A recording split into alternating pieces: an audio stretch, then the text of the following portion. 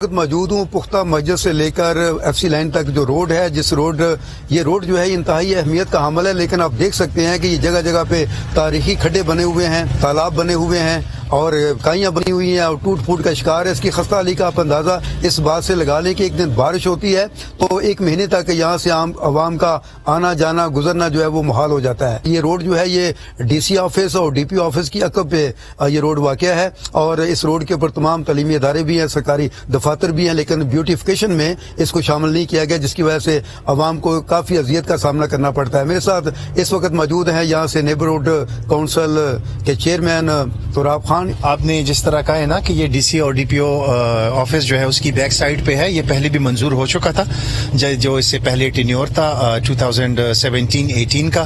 तो उसमें फिर ये था कि हमारे जो इधर के मौजूदा चेयरमैन थे, उन्होंने इस पे स्टे ऑर्डर भी लिया हुआ था। ये कहना है कि हम हुकूमत से और अरबाब इख्तियार से मुतालबा करते हैं कि जंगी बुनियादों पर इस रोड की तमीर की जाए और आवाम को चलने फिरने में और अपने जरूरियात के तहत आने जाने में काफ़ी मुश्किल का सामना करना पड़ता है। जी।